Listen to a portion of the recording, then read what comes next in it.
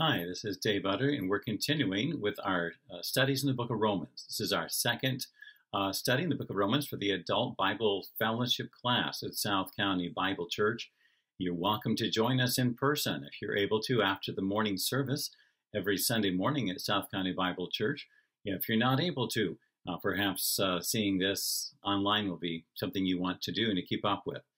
We started last week with the general idea of Romans, the theme establishing God's righteousness in how we can be right with God. Another way to say, how can we be we can be justified? What is the gospel all about? How are we saved? Now we're going to pick up where we left off around verse 7. Now, verse 7, Paul says he's writing to two, identifies the people to whom he's writing. To all those in Rome who are loved by God and called to be saints, grace to you and peace from God our Father and the Lord Jesus Christ. So, to whom is he writing? Obviously, the people in Rome. We believe that at this point, Paul had never been there. He had not met the people there in Rome, uh, but he was writing to them. He knew that the gospel had reached there. There was a body of believers there. Now, notice in verse 7 what are the two identifiers of the people in Rome, the believers? What does it say about them? Those who in Rome who are what? Well, it says, first of all, they're loved by God and they're called to be saints. Loved by God. And we could take really a lot of time and just go off and talk about that doctrine of God's love. How amazing it is that we, sinners, and as we're going to see so clearly in the book of Romans, people who are totally incapable of pleasing God and ourselves. Romans chapter 8, Paul is going to say, So those that are in the flesh cannot please God. Impossible. And yet God loves us. When the Bible says in John 3:16, "For God so loved the world that he sent his only begotten son," it wasn't he loved the world because the world was so lovable. In fact, it had been rebellious against God, people choosing their own way as opposed to God's way, but God still loved us. The amazing love of God that sent Christ to the cross to pay for us. And then what's the second thing it says here? Called to be saints. Now, what does that mean? What does it mean to be called to be saints? Well, this word is just an interesting word. We could look at it in a couple of different ways. Uh, the word saints comes from a root word. It's the same idea as being holy. So called to be holy people, to be called right with God. Now, when you look at scripture about Christians being called saints, there are two aspects of it. Sometimes the Bible talks about us being, and we'll call it saints positionally. In Acts chapter 9, in verse 13, it talks about Paul, then he was called Saul of Tarsus, who was persecuting the saints that were at Jerusalem, the believers, the Christians. But it calls them saints. It doesn't say people who were trying to become saints, it says the people who were. In the beginning of Philippians, Paul writes to the people at Philippi and says, I'm writing to the saints who are at Philippi. So there's one sense in which when we're saved in God's sight, we are holy, we are saints. But there's another sense in which we are not yet, and we call that saints practically. And right here, verse 7 of chapter 1, we're called to be saints. Uh, this little slide is someone something I found on the internet that somebody else wrote, but I thought it put it well. God secured the Christian's personal holiness through the death, death of his son, and also began holiness at the practical level. When Christ died for us, judicially before God, he took Jesus' righteousness and put it in our account. So when God looks at us and sees us, what does he see? No sin, perfect righteousness. We are totally forgiven once for all and forever. However, that is in our judicial relationship with God. Practically speaking, or we could say relationship wise speaking, like a father and a son, although we will always be God's child, we will not necessarily always be in good fellowship with Him because sin can hurt that. That's why we have, like 1 John chapter 1 and verse 9, when we sin, we need to confess our sin. God is faithful and just to forgive us our sins. So we are once for all forgiven before God, but as we walk in this life, in a practical way, we're becoming, hopefully, more and more holy. So Paul says to you, Roman people, you are called to be something. God has a desire for each of his children. When God saves us, God doesn't just say, okay, gotcha, here's your ticket into heaven, that's done, go on. No, God has a, a, a purpose for us to be like his son. We're going to see that later in Romans as well. God desires for us to be like him. And of course, that makes sense. Wouldn't you want to be the very best you could be? Perfect. Jesus Christ was perfect. God's goal for us is perfection. We'll never achieve that, achieve that perfection in this life, but we are on that road toward it, something that God begins in us. Another way to look at it is like this. At the time of salvation, we are declared to be saints. We're declared to be righteous. Now, salvation happens at a point in time.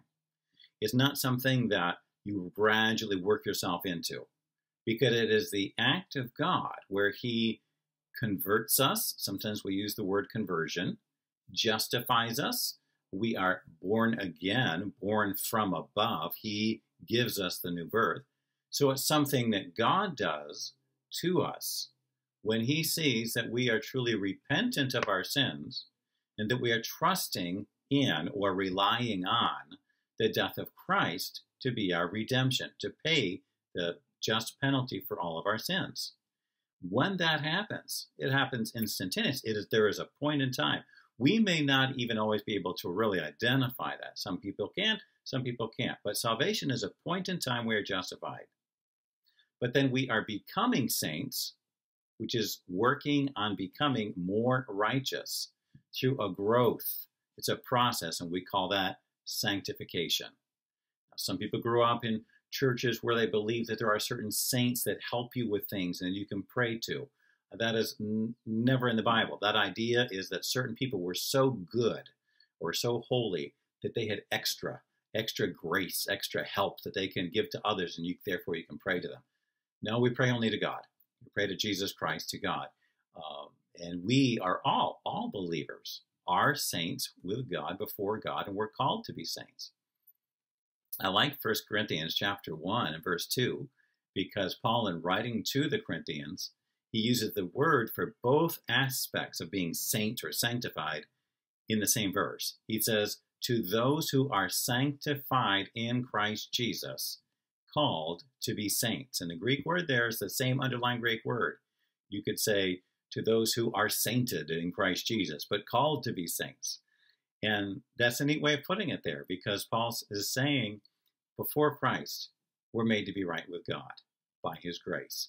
Before God, because of what Christ has done, all of us, no matter whether we were terrible sinners, as we might want to term it, or minor sinners, or whatever you know degree of sin you might think of yourself in, all of us are totally guilty. All of us are under God's wrath. We're going to see that today in Romans chapter 1. But by the work of Christ, He has made us, He has paid for all of our sins, past, present, and future, made us right in the sight of God. But as we live in this world, we still have part of that, our old sin nature, and we need to be walking forward and getting victory over that. Now, so who, to whom was Paul writing the gospel? People at Rome. Unsaved or saved? Saved. Christians in the, the church, the group that was at Rome. So, why is Paul writing about the gospel to people who are already saved, already knew the gospel? Why is it important for believers to know the details about the gospel and about God's righteousness? Well, it helps to make sure that we understand it properly, that we don't deceive ourselves thinking we might be Christians or good enough when we're really not. How many people are in Christian are in various churches? and they think they're right with God, perhaps they have really given of their lives. Perhaps they have really uh, been generous with their means and self sacrificing to serve God and to serve others. But does that mean they're saved or not?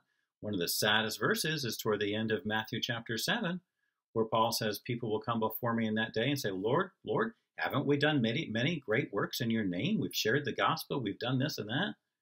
They expected they really believed that they were going to get into into heaven. And then Jesus says, "Depart from me, I never knew you." Wow, to go through your whole life thinking you had it right and then to find out you don't. That's really serious. That's really sad. So it's important to make sure we don't deceive ourselves. We need to make sure we understand the gospel. And then another reason is to have a greater understanding of God and His work, and therefore more glory to Him and more praise for His grace. And then Paul ends that verse, verse 7. He says, Grace to you and peace. He does this in most of his letters. He says, Grace to you and peace. Uh, why? Why do we need grace and peace? What is grace? In salvation and justification, we say, well, grace is God's giving me what I don't deserve, the salvation, the forgiveness. Uh, but for Christians who are, are saved, what does the Bible mean when God gives us enough grace, like with Paul? And he asked three times for the thorn in the flesh to depart, and God said, My grace is sufficient for you. What does that mean? For believers, God's grace is that enabling that God gives us to do what we need to do, what we ought to do. So Paul prays, I pray that God, I desire that you'll have God's grace, that you will have God's enabling every day to have courage, to have victory over sin, to understand your forgiveness, to live a life of kindness. May God grant you the enabling to live as you ought to live. And peace, peace from God on a daily basis. Now, as we go into the next section, verses 8 to 15, we're looking at the nature of the relationship between those who are justified, and that would be Paul and the people that he's writing to. Notice in verse 8 First, I thank my God through Jesus Christ for all of you, because your faith is proclaimed in all the world. For God is my witness, whom I serve with my spirit in the gospel of his Son, that without ceasing I mention you always in my prayers, asking that somehow by God's will I may now at last succeed in coming to you. What was Paul's relationship with his people? What was his thinking toward them? What did he want to see happen there? Well, first of all, he says right at the beginning of verse 8, what does he do? I what? I thank God for you. He expresses a believer in his relationship with other believers should be thankful for them, and express that thanks. How many times do you and I go up to another fellow believer, fellow Christian, and say, You know, I thank the Lord for you? And the second thing, and I want you to know that I pray for you. Paul says that here in most of his letters. I pray for you regularly. I thank God for you. I'm praying for you. And then thirdly, Paul says, I want to be with you. I desire your fellowship, be around you. And fourthly, and this is interesting, acknowledge the mutual help in verse 11, Paul says, I long to see you. I want to be around you, that I may impart to you some spiritual gift to strengthen you. I hope I can help you by my teaching. That is, that we may be mutually encouraged by one another's faith, both yours and mine. And so Paul writes to them and says, You know, I, I think I can help you, but you know what, folks? You can help me. Now, this is Paul, the Apostle Paul, writer of many books of the New Testament writing to these evidently newer believers in Rome. And what does Paul say? You can help me, I can help you.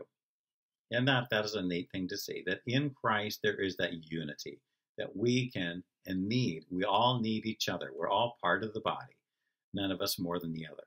And he goes on and fleshes that out in the next few verses through verse 15.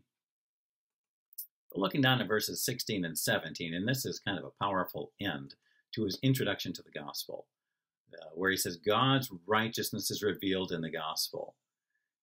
Verse 16, I'm not ashamed of the gospel, it is the power of God for salvation to everyone who believes, to the Jew first, and also to the Greek. In what way does the gospel demonstrate the power of God? Well, it does something that we could never do. We are totally unable to save ourselves. Uh, we also see the power of God in the way that it changes people's lives. The gospel should change our lives. In some people, it is more obvious of a change than others, but with all of us, we need change from living self righteously and for ourselves to living for God. There are instances, stories in the Bible, as well as around us every day, of people's lives that God has supernaturally changed. He has the power to do it. We don't. So the gospel is nothing to be ashamed of because it's powerful. It can change people, it can save people, shows what God can do. But then he says in verse 17, For in it the righteousness of God is revealed from faith to faith. The righteous shall live by faith. Very famous verse, which is quoted from the Old Testament and comes up here a lot of times in the in the New Testament. In what way does the gospel reveal the righteousness of God? In the picture there on the screen is uh, Martin Luther done on the lower left, nailing the 95 Thesis to the uh, door of the Church of Wittenberg there in Germany.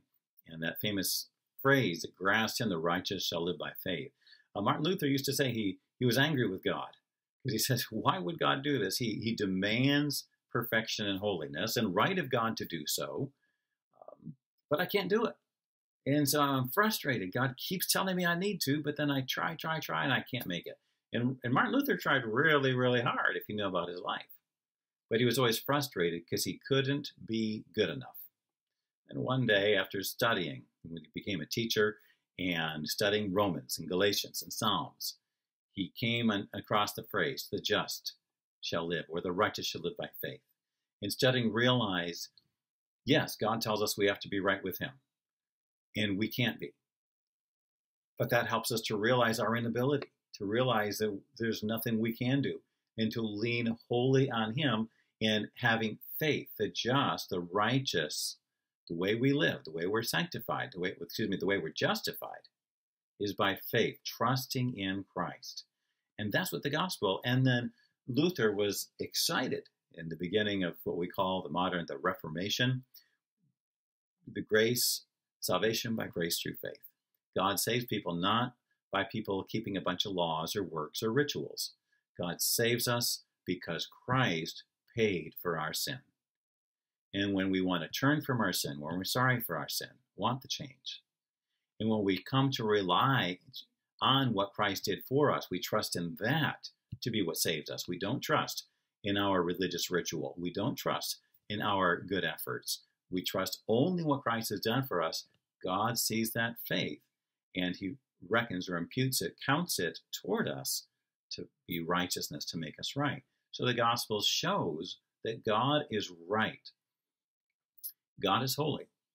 And just like a, a, judge who is a just, proper judge, he can't just let people go. If a person is, is guilty, he can't let him go with no sentence, with no punishment.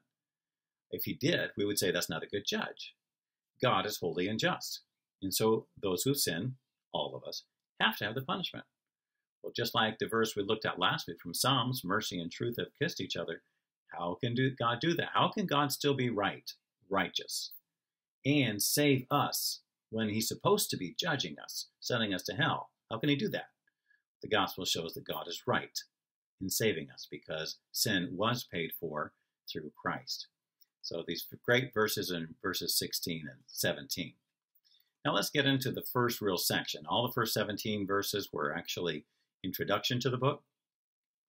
The first major section, the guilt and just condemnation of the non-religious, verses 18 to 32. And our first question we have to ask is, does God get angry with people? Look at verse 18. The wrath of God is revealed from heaven against all ungodliness and unrighteousness of men, who by their unrighteousness suppress the truth. Does God get angry with people? Uh, he does. Is God loving? Totally. Uh, way beyond we can ever imagine. But although God is perfectly loving to every single single one of his creation, creatures, he also gets angry with them because of sin. Psalm 7, verse 11 God is angry with the wicked every day. John 3:36 To those who believe in the Son, they have life. To those who don't believe in the Son, the wrath of God abides on them. Revelation 14:10 similar. God's anger, God's wrath, what's meant by that? Well, this is divine and right displeasure against sin. It's a lot different from our anger. Why do we usually get angry when we get anger, angry? Usually it's because we don't get what we want we don't like something, something's not going our way or the way we think it should be, so we get angry. That's not God's anger. God has a, a true divine displeasure against sin versus man's anger, which is normally self centered. So the verse starts out God is angry with man. And that's going to be setting up the need for the gospel. Why is the gospel so necessary? Why are we talking about God's righteousness here? Because God is justly angry with man. Why is God angry? Well, it says in this verse, man suppresses the truth. Man uh, holds it down. Man knows about it, but doesn't do it. He knows what's right, but he refuses to do it. He either just ignores it or makes excuses, justifies what he wants to do. Oh, it's okay if I take this item from work because, you know, they don't pay enough.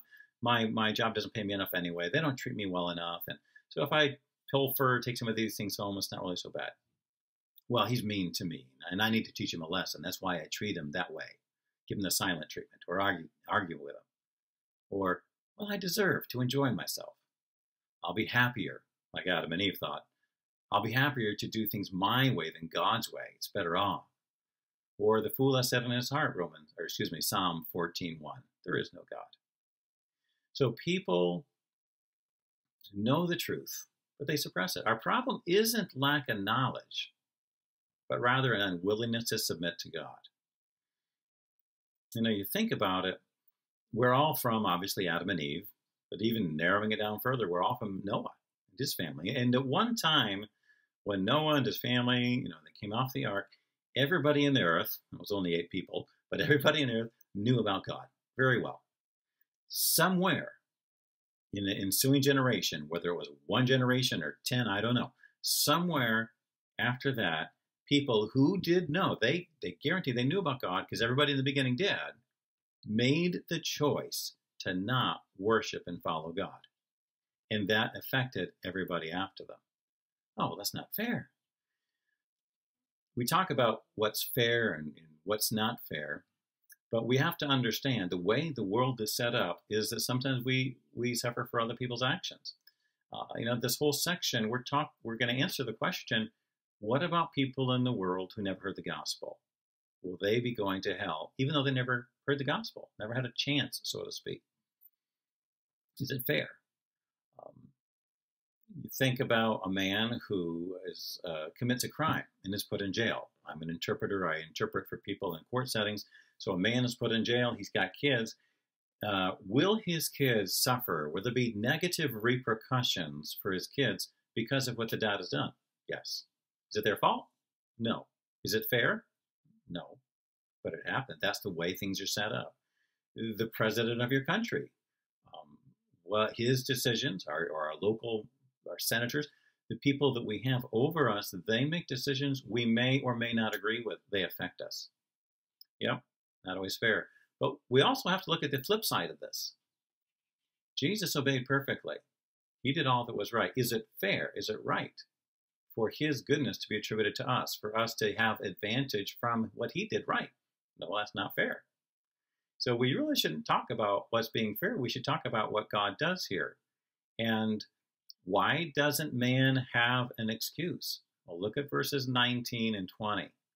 Here's the answer. Verse, verse 19, for, here's the because, what can be known about God is plain to them, because God has shown it to them. For his invisible attributes, namely his eternal power and divine nature, have been clearly perceived ever since the creation of the world. How? In the things that have been made so they're without excuse. They're without excuse because God has made some of his invisible attributes clear. Which ones? Well, it says here his eternal power and his deity, his divine nature. In other words, and, how does this happen? It says through creation. By people just studying and looking at what God has made, they should be able to understand there's a creator, there's a designer, you go down the road in a place you've never been before, you see a garden laid out, nice rows on the side of the road. You have no idea whose property that is. You have no idea who made that garden, but you believe something. You believe that somebody made that garden. You don't believe it happened by random. You see a picture on the wall in somebody's house. You don't think that that picture just happened by random. You believe someone designed, purpose, made it there. Uh, we talk with people who, who believe in evolution, and I've talked to people where where did things start? If you believe in a Big Bang or something else, where was the very very beginning that evolved? I don't know. One evolutionist talking with me said, "Well, maybe energy is eternal." That doesn't sound very scientific. Maybe energy is eternal. That's not very scientific. Or, you know, where's all the proof of these things? You study the complex. And in Psalm 19, 1 and 2, the heavens declare the glory of God.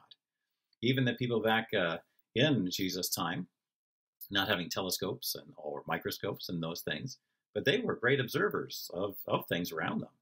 They they didn't have uh, electricity, they didn't have the internet, TV to watch at night. Looking at the stars, noticing that the planets uh, move differently from the stars. The word translated planet comes from a word meaning wandering, because they noticed that the main group of stars they followed a certain track across the night sky, but there were these certain dots of light, which we now know are planets, which didn't track with the others. They had different patterns. And just as, as, as much as they knew, as much as we know, God's glory, God's handiwork. Think of the billions of stars they are out there. The billions of galaxies with the billions of stars in each. It is mind boggling. Then you think about tiny things, bacteria and biomes, and uh, in the ways our body are made. God, God said, we're without excuse because everybody in the world, even though they've never heard about Jesus, they've never heard about everything else, everybody in the world should be able to understand if they were to really look around them about God's creation. They're going to understand who God is. There's a book, I think it's by a guy named Don Richardson, if I remember correctly, Eternity in Their Hearts. And he chronicles people groups around the world who did not have any gospel, any communication with outside tribes or whatever, but in their oral history, perhaps, they had a story about someone coming to share about the true God who made everything. Uh, and it's interesting to hear how God works. Uh, God makes himself known, and people are without excuse because if they really think about it, they know there is a God. And even the idea of a right and wrong, where did that come from? Every people group in the world has a set of rights and wrongs. And they know that killing is wrong in, various things. Where did that come from?